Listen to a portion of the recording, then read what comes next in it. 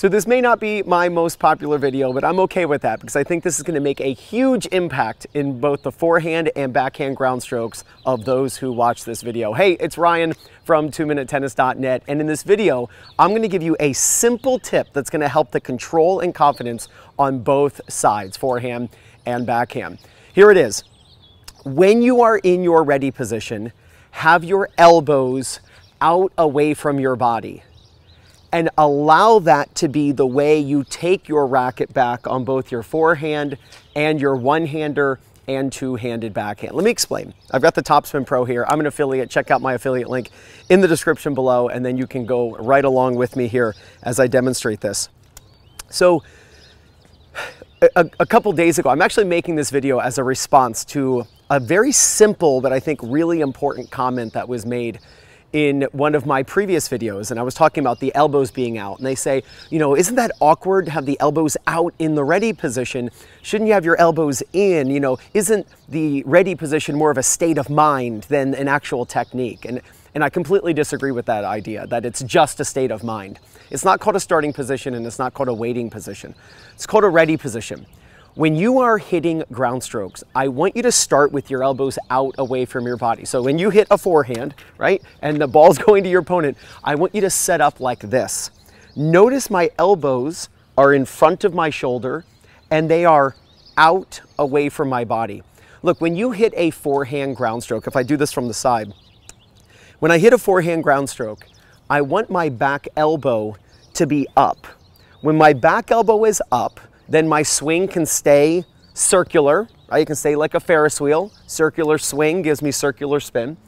It also helps me to close my racket face. You know, I don't want my racket straight up and down in the back before I hit a shot. I want my strings closed, and when my strings are closed, that's what allows my strings to face forward as I'm brushing up the back of the ball. I see so many players, and they turn and their hand is above their elbow because their elbow is down.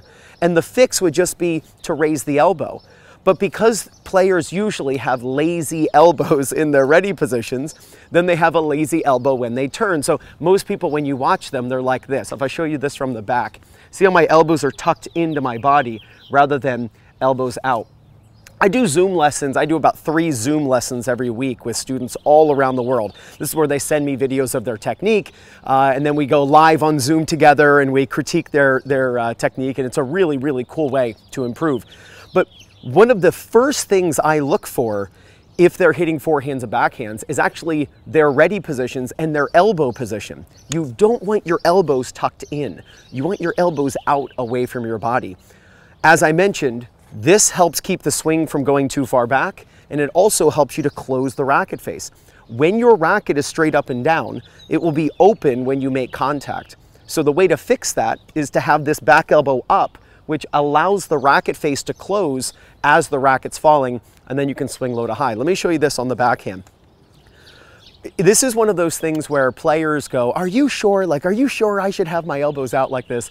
Then they go out and try it and they, they respond back going, I can't believe what a difference this made. And I'm gonna show you this in a second, how this is gonna help you return a serve as well.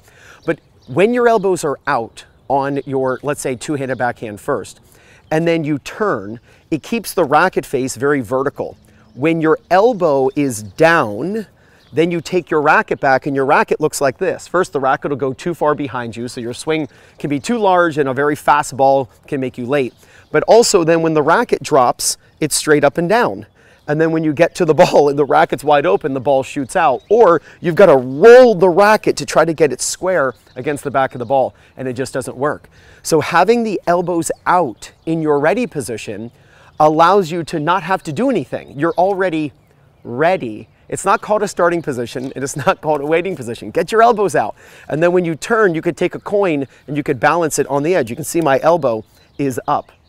And then when I drop the racket, my racket is closed, allowing me to brush up the back of the ball. It's the exact same thing on a one-handed backhand. You don't want to be playing tennis as a one-hander with your elbows in.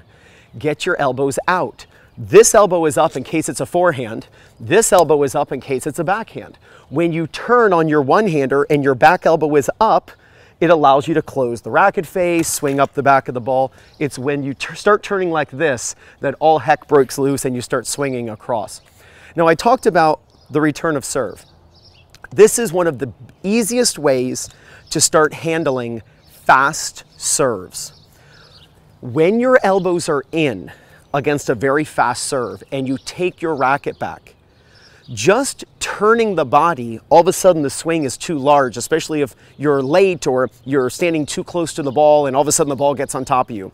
Watch what happens when I just push my elbow out. Watch my racket position change.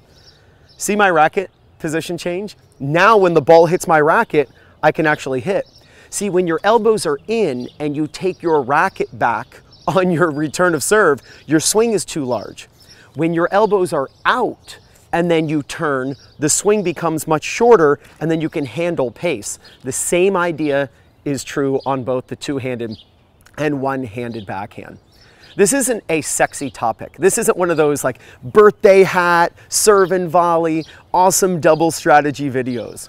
But I can tell you this video is going to help just as many people who actually use this information and apply it to their game as any of those videos. When you're playing, get your elbows away from your body. Let me, uh, I've, I've actually got a hopper of balls here just to kind of give it the idea. If I grab two like little kid balls and I put them under my armpits, basically raise your armpits until the balls fall out. Get your elbows out so much that the balls wouldn't stay in your armpits. And then that's how you're going to be waiting when you're playing. Is it comfortable? Yes, after you get used to it.